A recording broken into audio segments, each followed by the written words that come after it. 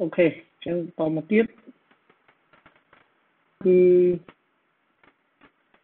យើងមើលទៅលើ menu មាន sub menu បន្តទៀតណាអញ្ចឹងចង់បញ្យល់តិចអានេះពាក់ព័ន្ធគេហៅថា relationship នៅក្នុង database គឺខាងលើតំបន់ដើមជាសិក្សាព័ត៌មានកម្មសិទ្ធិកម្រជាសំខាន់នេះនេះ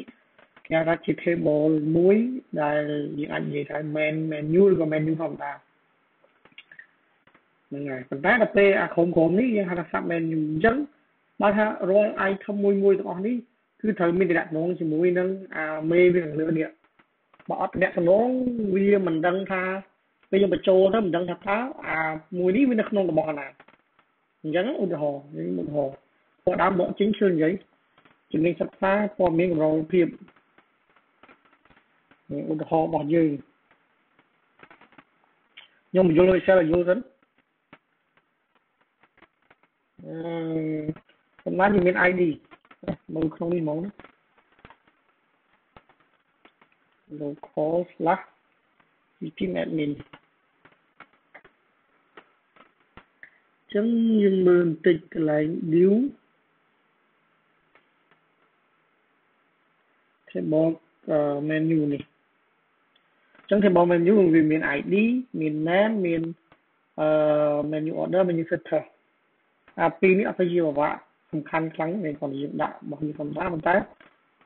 menu ID នេះតែជាសំខាន់ ID ត្រូវទៅភ្ជាប់ជាមួយនឹង table with sub menu អញ្ចឹងយើងបង្កើត table sub menu មួយសិនមក table sub menu អញ្ចឹងដាក់ sub menu ID sub menu name ដូចគ្នាណាថែម ថែម5ចោលតែមានគឺគាត់តាមនឹងទៀត go ច្បាស់វាថែម sub menu id sub menu name sub menu order sub menu status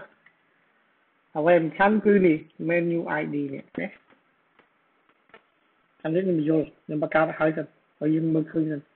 ចាំ menu id នេះអូតូដដែល5 key ហើ thì menu name varchar ដាក់200ឬក៏100ទៅ collection UTM-8 general CI export unicode ហើយអូខេប៉ុណ្ណឹងចំណែក menu order លេខវាដាក់បានមិនដាក់បាន status 0.1 menu ID នឹងលេខ code នេះអញ្ចឹងគោអ่ะមិនទៅគោអីទៅ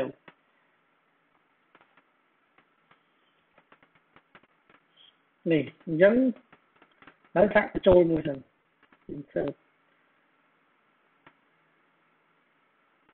table sub menu ចឹង ID មិនបញ្ចូលទេបញ្ចូល ID name ឈ្មោះអីឥឡូវឡើយនេះចុះជំនាញចំណាំអីអីហោហាយទៅមក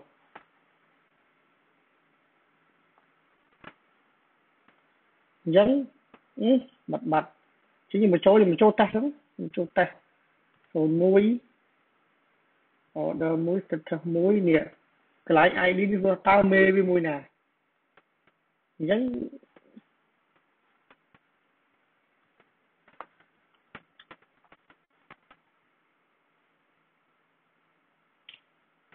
វាច្រឡំបិទមិន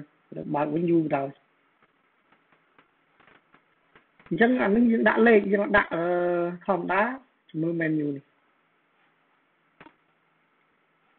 នេះធម្មតាលេខ1ឈ្មោះសម្រាប់របស់វាអត់ដាក់ផ្ទាល់នេះអញ្ចឹងបើសិនជាយើងចង់ឲ្យនេះអា sub menu យើងជាកូនចៅរបស់ណាអាជាអាណារបស់មេវាអញ្ចឹងអាមួយនេះអញ្ចឹងយើងទៅបញ្ចូលលេខនេះលេខ2នេះលេខ3នេះលេខ4នេះហេតុនេះគឺយកលេខបើយកអក្សរ ពេលកែឈ្មោះកែអីទៅគឺมันអាចឲ្យអស់ឧទាហរណ៍ទំអានេះជំនាញសិក្សាស្រាប់តែលើកកែទៅជាវគ្គសិក្សាវិញអញ្ចឹងបើសិនជាយកឈ្មោះគេដាក់ធ្វើទេយកឈ្មោះដាក់កន្លែងនេះបានន័យថាអឺអត់ភ្ជាប់គ្នាការ relationship តំណែងរបស់វាអញ្ចឹងគេយក ID អញ្ចឹងចាប់ពីពេលទៅពេលយើងបង្កើត menu នេះបើមែនតើហាមលុបតែលុបអាមេ គឺគឺយើងទៅកែថែមពេលលុបវាមើលសិនតើកូនចៅវាមានអត់បើមែនយូណាមានកូនចៅឲ្យលុបដោយសារអីតែលុបមេបាត់កូនចៅវាមិនដឹងអាណាមេតទៀតបាត់អស់អានោះអញ្ចឹងអញ្ចឹងមែនតើកន្លែងគឺបងលេខ1ឬក៏លេខ2ឬក៏លេខ3អញ្ចឹងមកនេះហើយលេខហ្នឹងជាលេខអីលេខហ្នឹងជាលេខ ID មកនេះមែនយូមកនេះអញ្ចឹងនៅក្នុង table database គឺវាយកលេខប៉ុន្តែដល់ពេលនៅលើ form ទៅទៀតយើងឃើញយើងផ្លែកបាទថា ទៅជា drop down មាន menu អឺទី1ទី2ទី3ទី4ហ្នឹងហើយបន្តមកទៀតអឺបន្តមកទៀតយើងឲ្យវាប្រកបបានថានៅលើ form ជាឈ្មោះ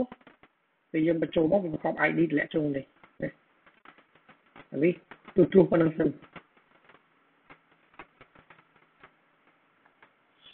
អញ្ចឹង table ដូចគ្នាអញ្ចឹង sub menu ID menu name menu order structure ហើយនឹង menu ID អូខេខ្ញុំពុះ video សិនចាំបន្តទៅតទៀត